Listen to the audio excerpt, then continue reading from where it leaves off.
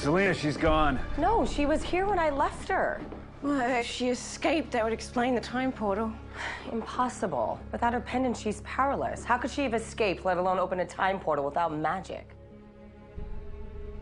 Unless you did something to her. Well, I'm sorry to disappoint, but no. Well, even if I wanted to, Belle has my dagger. She would certainly curb any homicidal tendencies. It's true. Well, if she escaped, let's find out how. Wonderful.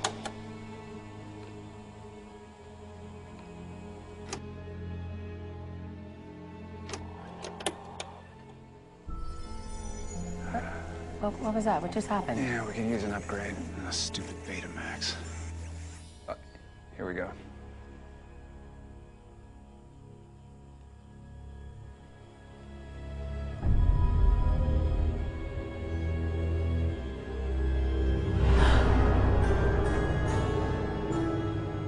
Well, it seems her great escape was of a more permanent nature.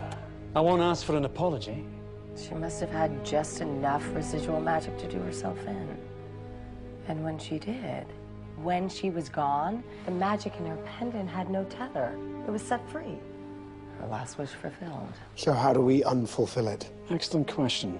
But until we figure it out, no one should go near it. A trip to the past could have catastrophic repercussions.